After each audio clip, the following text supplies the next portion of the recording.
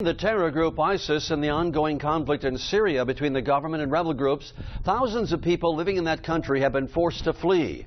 More than 100,000 have crossed the border into Turkey, and now, thousands of miles away, a Bay Area man is trying to help. Bay News 9 Summer Smith shows us how.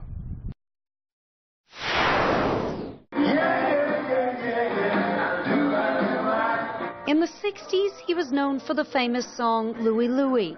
But these days, the former lead singer of the band The Kingsmen, Yank Barry, is singing a different tune. Your family will be preserved.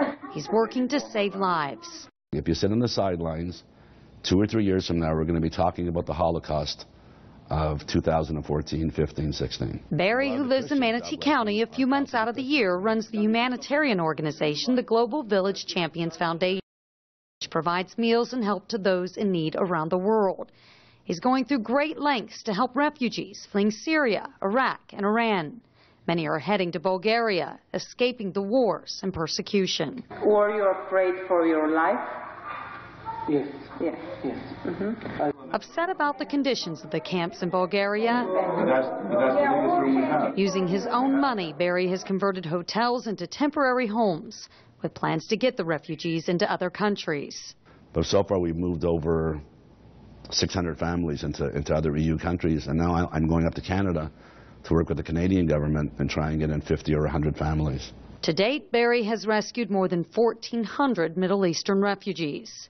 Barry says the refugees are being forced to leave their countries because of their faith.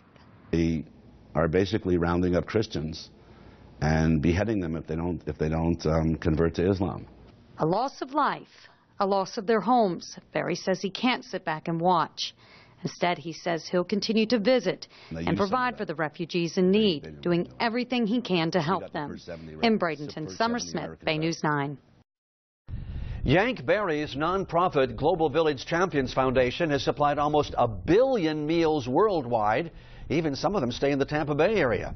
He's been nominated for a Nobel Peace Prize for the past three years. For more information about that foundation, just visit us at baynews9.com.